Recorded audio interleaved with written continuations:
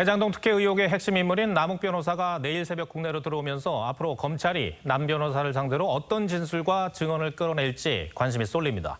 김만배, 유동규 씨 등 주요 인물들과 대질 신문 가능성도 거론돼 검찰 수사도 이번 주 분수령을 맞을 것으로 보입니다. 검찰 취재하는 한성원 기자와 조금 더 얘기 나눠보겠습니다. 한 기자, 지금 남 변호사가 한국으로 오는 비행기 안에 있을 것 같아요. 네. 자, 지금 남욱 변호사 도대체 어떤 인물입니까? 네, 남 변호사는 2009년 대장동 초기 사업부터 관여해 오면서 대장동 원주민들과 직접 소통했던 인물입니다. 네. 이번 대장동 그 민관 개, 민관 합동 개발을 통해 천억이 넘는 배당 수익을 거뒀고 그 대장동 사업 특혜 의혹에 풀어줄 핵심 인물로 꼽힙니다. 이 바로 그 남 변호사가 대장동 특혜 의혹 사건이 중앙지검에 배당된 지 20여일 만에 귀국하는 겁니다. 네.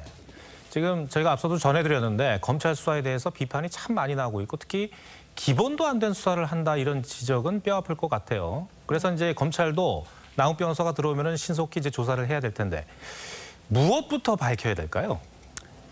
네, 먼저 그 검찰은 남 변호사를 불러서 그 대장동 사업에서 어떤 역할을 했는지 캐물을 것으로 보입니다.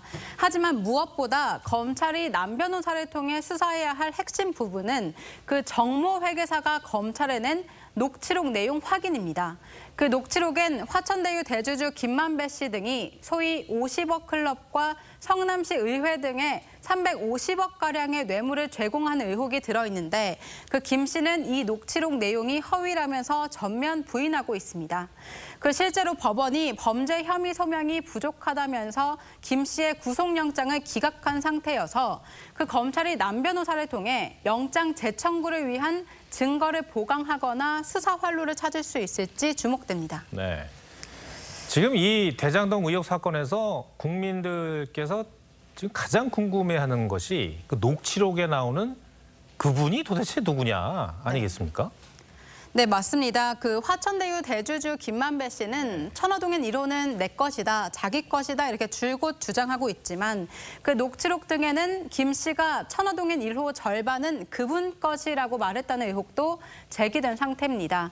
그 천화동인 1호는 화천대유 관련 회사 중 가장 많은 1,208억을 배당받았는데 그 명목상 대표와 소유주가 달라서 사실상 정치자금 창고가 아니었냐 그런 의혹이 있습니다. 그 특히 남 변호사는 한 언론 인터뷰에서 대장동 팀끼리는 형동생 하는 관계라고 밝혀서 그 그분이 유동규 전 본부장이 아닌 더 윗선일 수 있음을 윗선일 수 있음을 네. 시사했습니다. 이 윗선 의혹과 천화동인 1호 실소유주 부분도 검찰이 밝혀내야 할 부분입니다. 예. 남욱 변호사가 이제 비행기를 타고 인천공항에 도착을 하죠. 몇 시쯤에 도착할 것으로 예상이 되죠? 네, 내일 새벽 5시쯤입니다. 새벽 5시. 네. 정말 많은 취재진이 인천공항으로 갈 것 같은데 뭐 네. 많은 얘기를 하겠습니까만은 네. 그래도 어, 남욱 변호사 목소리를 들을 수는 있을 것 같아요. 네, 저희 취재진도 내일 새벽부터 그 인천공항에 나가서 남 변호사의 입장을 직접 들어볼 예정입니다.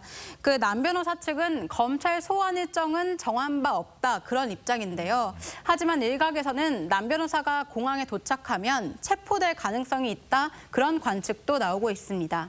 그 남 변호사는 2015년 대장동 개발 로비 의혹 수사 시 자신을 변호했던 국내 대형 로펌 변호사를 선임해 수사에 대비하고 있습니다. 이 검찰은 서로 엇갈린 진술을 해온 대장동 핵심 인물들 간 대질 조사도 이어갈 것으로 보입니다. 네. 이번 주 정말 대장동 의혹 사건으로 시끌시끌할 것 같습니다. 한성훈 기자 잘 들었습니다.